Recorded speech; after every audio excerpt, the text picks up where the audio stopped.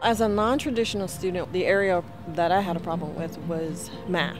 Um, it had been a long time since I've done algebra.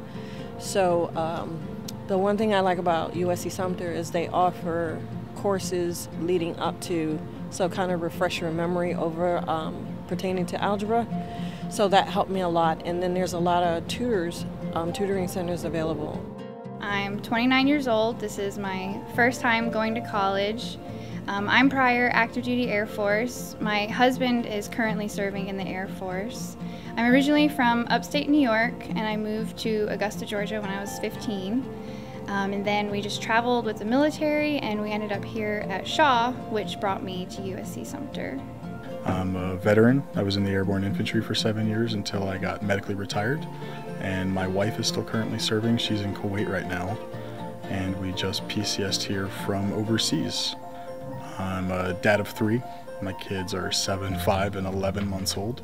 So I have to balance my school life with uh, my, my home life.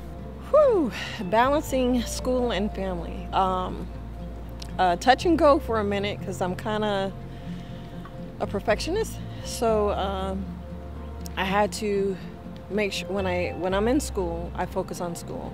And uh, my husband, um, he's a disabled veteran, so he kind of watches my younger child, and my older is in school.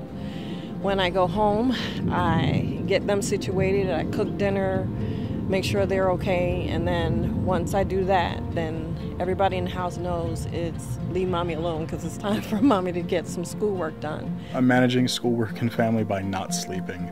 Uh, I tend to keep my school life separate from my home life. So I drop my kids off at school and then I get here about 8 o'clock and I use the computer lab upstairs or the library or the student union and I take care of my schoolwork here and I try to treat it like a job. When we had moved back to Shaw from overseas, we were in Japan, and I was waiting until we moved back to the States to start school. But once we got here, I was really excited and I really wanted to jump in and start.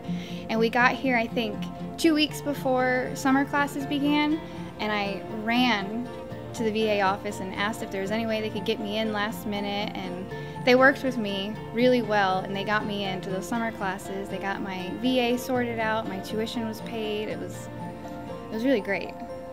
It was very fast.